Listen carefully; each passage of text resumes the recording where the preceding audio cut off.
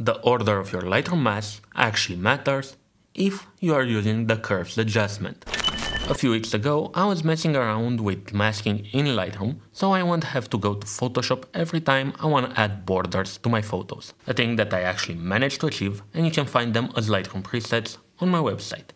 But while I was working on that, I noticed that if you apply a white border and on top of it you mess with the curves on another mask, you can actually lower the white point of the border. And this means that if you apply the borders first and then come in with a fade or my filmic tone limiter for example, you can get borders that have a more muted analog look.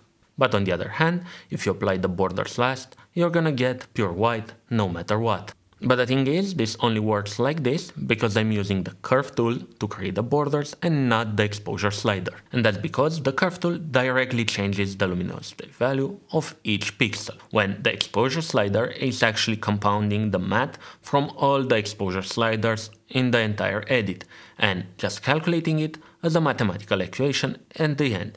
And this means that using exposure sliders or any kind of luminance adjustment would have resulted in borders through which you might have seen your photo. And that's why